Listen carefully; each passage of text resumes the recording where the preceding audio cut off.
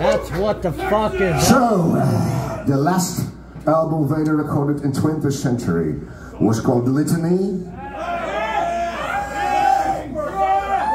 Yeah, it was. And here is a couple of songs from that one.